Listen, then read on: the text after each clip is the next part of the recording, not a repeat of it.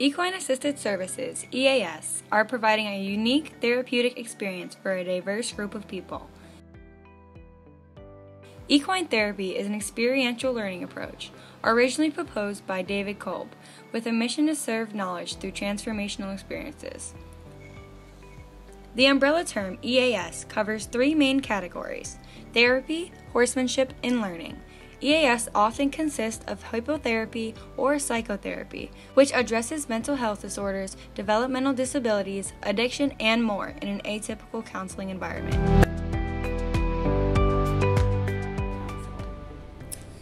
So, for equine therapy, that's involving either a mental or physical health professional.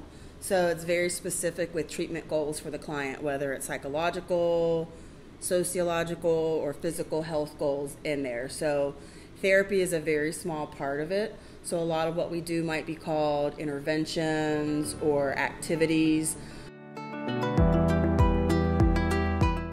Beyond a pet owner relationship, horses provide an experiential means and metaphorical learning through interactive guided sessions. Skills are practiced by groundwork or riding the horse. According to Kimberly Cole, PhD, the Ohio State University equine extension specialist, hippotherapy involves equine movement, but there is no such thing as hippotherapist.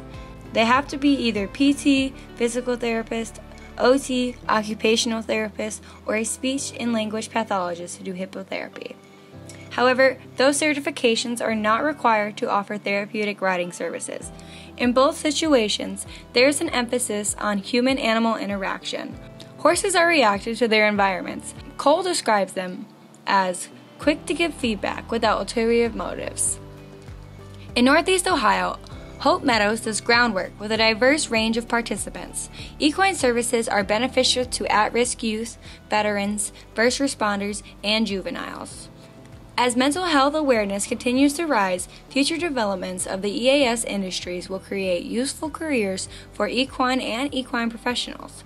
Benefits of equine therapy are hard to recreate and continue to grow in popularity.